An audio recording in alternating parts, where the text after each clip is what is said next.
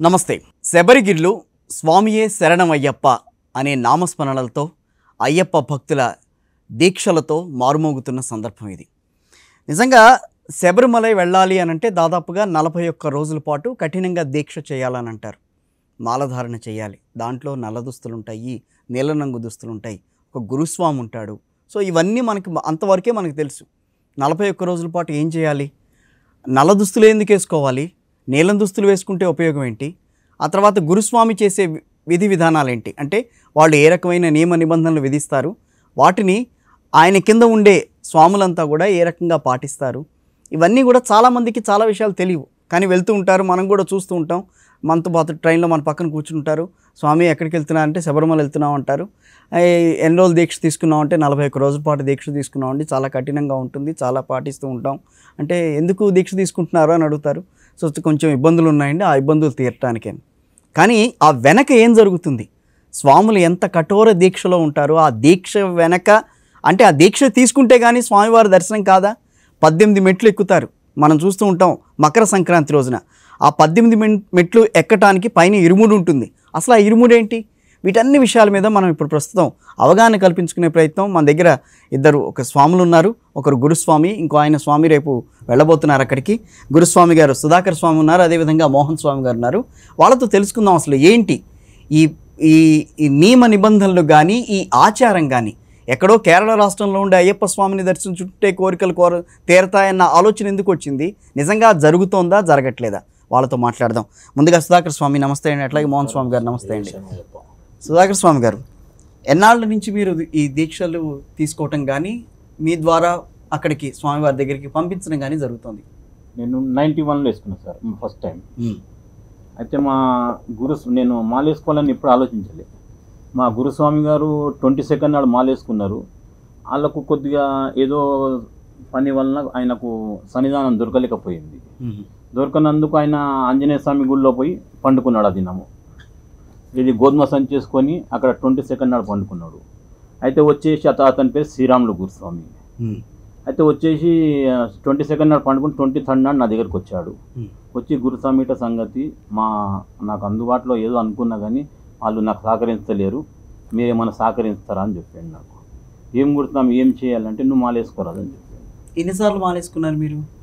నేను ఇప్పుడు continue ninety one నుంచి ఇప్పటి వరకు మొన్న మొన్నటి వరకు థర్టీ ఇయర్స్ మాత్రం కన్ఫామ్. ముప్పై ఏళ్ళు మాలేసుకున్నారు. ముప్పై ఏళ్ళు సార్. ముప్పై ఏళ్ళు మాలంటే ప్రతి సంవత్సరం కూడా మీకు ఒక టైం పీరియడ్ నలభై ఒక్క రోజుల పాటు ఈ నియమ నిబంధనలన్నీ పాటించుకుంటూ వస్తారు. ఇప్పటికి కంటిన్యూ సార్ పాటించండి నేను.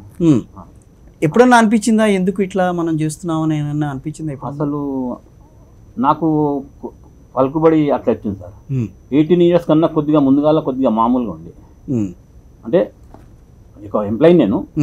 అక్కడ ఏమైపోయింది ఎయిటీన్ ఇయర్స్ వచ్చిన తర్వాత ఒక మలుపు వచ్చేసింది. ఎయిటీన్ ఇయర్స్ అయిపోగానే మా బాబుకు జాబ్ రావడం ఏంది? షాపు ఓపెనింగ్ చేయడం ఏంది? అంటే మీకు పద్దెనిమిది ఏళ్ళు కాదు. మీరు పద్దెనిమిది ఏళ్ళ పాటు వేసుకున్న తర్వాత. చేసుకున్న తర్వాత.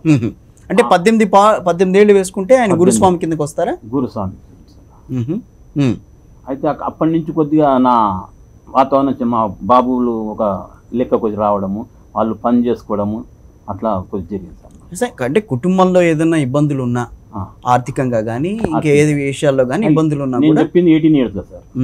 అయితే ఫస్ట్ మాలేసుకున్న శ్రీరాములు స్వామి తీసుకొని మా మమ్మీకి చెప్పిన సార్ శ్రీరాములు స్వామి గురుస్వామి వచ్చిండు మాల వేసుకుందామా వేసుకో అంటున్నా. అంటే నేను అన్నా మంచిదమ్మా వేసుకోపో బాబు అని చెప్పింది.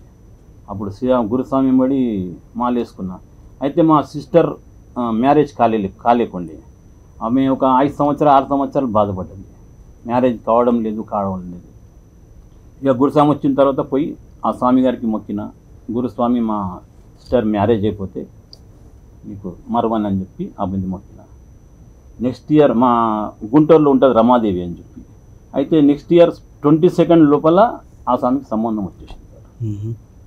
ఇక దాని తెల్లారి అలా ట్వంటీ సెకండ్ నాడు గుంటూరు వెళ్ళాలి ట్వంటీ థర్డ్ నాడు మాల వేసుకోవాలి నా స్వామిని మరవద్దని చెప్పి నేను డిసైడ్ అయిపోయినా.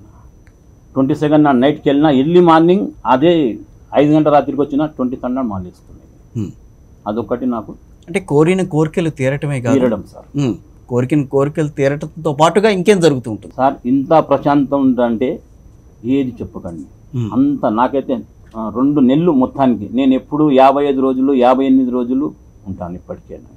చాలా ప్రశాంతంగా ఉంటా ఆవిడ ఇంచుమించు ఆ ఇరవై నాలుగు గంటలల్లా ఒక పదిహేను గంటలు పద్దెనిమిది గంటలు పాటలు పాడుకుంటుంటా. నాకు పాటలు అంటే చాలా ఇష్టం నాకు. శరణాలు చెప్పడం కానీ పాటలు పాడడం కానీ సాములందరూ ఎంబడి కలిసిమెలిసి ఉండాలని చెప్పి సాములకు కొన్ని విధాలు చెప్పాలని చెప్పి ఎంతమంది స్వాములు పంపించారు మీరు ఇప్పటికి నేను ఇప్పటి ఇప్పుడు ఫార్టీ టూ నంబర్స్ మా శిష్యులు ఉన్నారు సార్ ఇప్పుడు ప్రజెంట్ ఇప్పటికి. ఇప్పుడు ఇప్పుడు. అందులో ఇంచుమించు ఏడెనిమిది మందిది ఎయిటీన్ ఇయర్స్ అయిపోయింది వాళ్ళు కాక ఇప్పుడు. ఒక రాజస్వామి అని చెప్పాడు ఇప్పుడు ఉమేష్ స్వామి ఉన్నాడు బాబు స్వామి ఉన్నాడు వీళ్ళు ముగ్గురు ఇప్పుడు ప్రజెంట్ ఇప్పుడు. Hmm. బబ్లు స్వామి అని చెప్పినాడు. అంటే వీళ్ళంతా గురుస్వాములే. గురు ఎయిటీన్ ఇయర్స్ అయిపోయింది. మా చేతుల ద్వారా అయింది ఓకే. అంటే ఈ పద్దెనిమిది ఏళ్ళలో మీరు ఎంతో మంది స్వాముల్ని పంపించడం అయితే జరిగింది అక్కడికి. ఎంబడితో ఎంబడి వెళ్ళిన సార్. ఎంబడి వెళ్ళటం, వాళ్ళతో పాటు వాళ్ళ వెళ్ళటం. సేవ చేయడం. వాళ్ళకి సేవ చేయటం అనేది.